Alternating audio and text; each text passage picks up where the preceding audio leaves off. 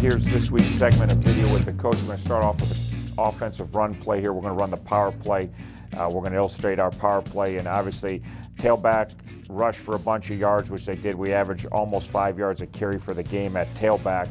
Tailback gets all the credit, but we're going to show you the work that we do up in front and the work that Zoe does in conjunction with his O line and tight end. So obviously, there's the wide shot. Here's a tight shot. We're going to run power. It starts right off. You're going to get Cal Buchanan, right tackle, and Sam McCullum our, our right guard is going to get a tremendous double team on the three technique right here and get a good push, and that creates air right away. Smitty's got a one-on-one block on the defensive end 19, does a good job of controlling that block.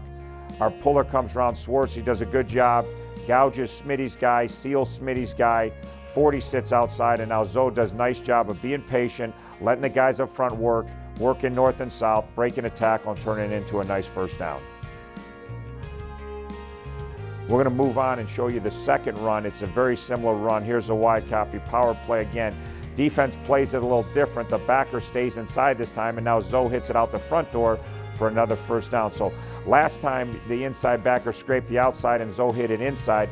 This time you'll see the inside backer number lay, stay tight. Again, good double team this time. 50 decides he's just going to go down and not get moved, which allows Buke now to climb the next level and see number five. Again, Smitty, great job on the defensive end. Swartzy, no room inside, so he's going to kind of come around the horn.